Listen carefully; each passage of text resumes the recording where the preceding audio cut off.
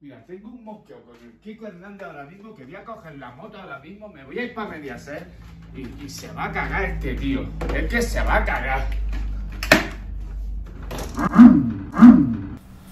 Muy buenas tardes a todos, bienvenidos a un nuevo vídeo de La Verdad Digital y si no estás suscrito o suscrita te invito a suscribirte.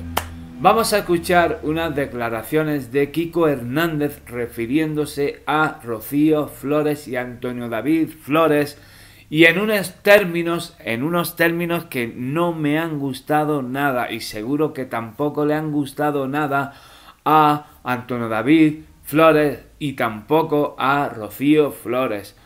Vamos a escuchar a Kiko Hernández porque las declaraciones que ha hecho, desde luego que son Mm, repugnantes, repugnantes, hablar así en esos términos de, de, una familia que vosotros, los de la fábrica de la tele, los vendidos de Sálvame, estáis o queréis, mejor dicho, destrozar poco a poco, pero que no vais a poder. Está llorando Hombre, está, con la vida que lleva, ¿qué te parece, Kiko? No, me Creo parece que- muy bien, pero yo con 24 años también he tenido mis palos en mi vida. Pero es que lo mismo- y, y- y riéndome, vamos, me recuerda. Pero lo dices tú que eres el pitufo gruñón de aquí. Eh, Lo que tú quieras, claro, lo que tú quieras, Kiko pero hay momentos que me he descojonado, que me he muerto es de la risa. Kiko Sin embargo, ella. vis cómica muy guapa.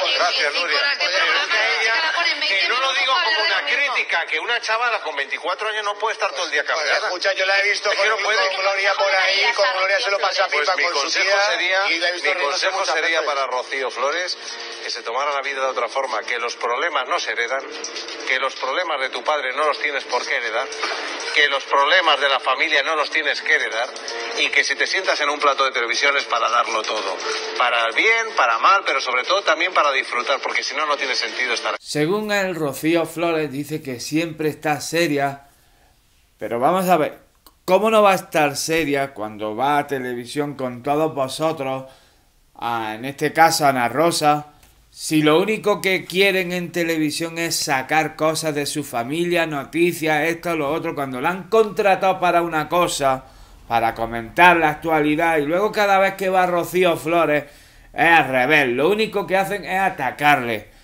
y- y heredar. Dice que, que si va para un plato es para darlo todo. Y para, para ti darlo todo, ¿qué es Kiko Hernández? Hablar todo lo que tú quieras, enterarte de su familia y de sus intimidades, pues no. Pues no, el que quiera saber que vaya, que vaya y se compre un libro.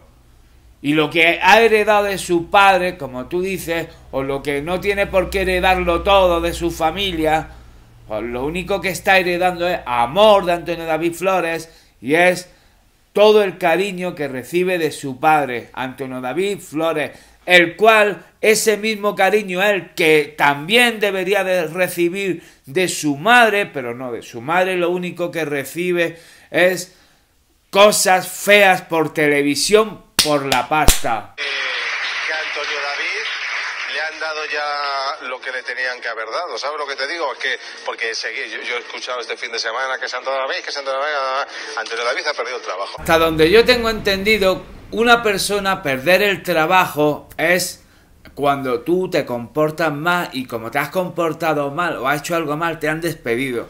Pero no, Antonio David Flores no ha, no ha perdido el trabajo. Antonio David Flores lo que habéis hecho ha sido echarlo a la calle por una vividora que ha salido ahí a contar cuatro mentiras y, como tenéis que levantar las audiencias, pues bueno, había que echar a Antonio David porque si no, no tenía ningún sentido el documental.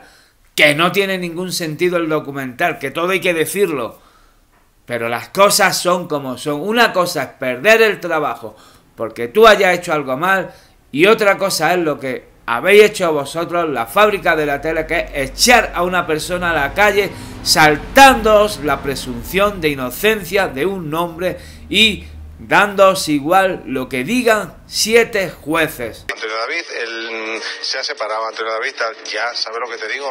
Ya, porque Hombre, yo, he visto, ha el sido fin, duro, yo he ¿eh? visto el fin de semana, no, si esto, fíjate que yo he sido Sí, gran, eh, eh, he atacado mucho a Antonio David por todo lo que tal, pero yo te digo que también hay un punto en que dices, ya, Y ahí se está riendo. ya, ¿sabes? Ahí se está sonriendo. Ya, porque es que, ¿sabes lo que te digo? Es que ya más no puede perder este tío. Si es que ya o sea, ha- ha perdido el trabajo, ha perdido mm, el, el matrimonio, ha perdido tal, ya. Sí, algo que ver él con todo eso que ha perdido, ¿verdad? Y también, con, la cara de seta de su hija muchas Y ya para concluir, mirar lo que dice de fondo la Carmen Alcaide la cara de seta de su hija.